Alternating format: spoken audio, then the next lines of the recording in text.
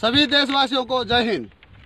सीमा सुरक्षा बल के जवान देश की सीमाओं की हिफाजत पूरी मुस्तैदी से कर रहे हैं। हालात चाहे जो भी हो, हम यहाँ हर मौसम और हर परिस्थिति में डटे रहे हैं और डटे रहेंगे। मैं इस संदेश के ज़रिए आपको विश्वास दिलाना चाहता हूँ कि सीमाएँ पूरी तरह से सुरक्षित और महफूज है।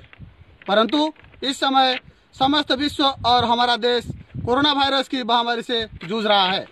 अतः सभी देशवासियों से सीमा सुरक्षा बल के जवानों की तरफ़ से विनती है कि इस विश्वव्यापी महामारी का सामना देशवासी अपनी सूझबूझ एवं भारत सरकार और राज्य सरकार द्वारा समय समय पर जारी किए गए दिशा निर्देश का निसंकोच पालन करके करेंगे।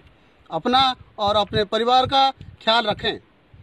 हम सभी ने पहले भी कई ऐसी चुनौतियों का कंधे से कंधा मिलाकर मुकाबला किया है।